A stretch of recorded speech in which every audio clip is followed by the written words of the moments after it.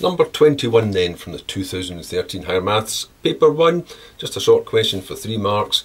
Complete the square. Express this in this form, and I'm just assuming here that we don't have to go on afterwards because it's only 3 marks and say A equals B equals C equals, but I'd be tempted to do that just in case.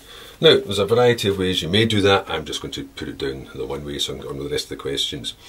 What I would normally do with this is say it's easy to form a square if it's just monic, if it was just a single x squared, so I'll take that 2 out of it, leaving that as x squared. Whether or not that 2 is a common factor, take the 2 out, so everything else has to be divided by 2.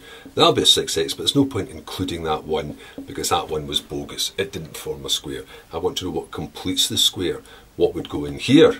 So, now that I've got this part, I can form the square because I know the pattern for a square is square the first, square the last, and twice the product. Only need two out of the five bits to finish off that pattern. If that's x squared, that must have been x. And if that's x, then the two of these together must give half of this, so it must be half of that's 3. Square the last, that must be a plus 9. I've put a 9 in where there was no 9. I put two of them in, in fact. So that's 18 going in, so I have to take 18 off. So minus 17. That would be the solution to that. I would say, but maybe just for safety, I might put a wee note at the side. I might put a wee note saying A is 2, B is 3, C is negative 17.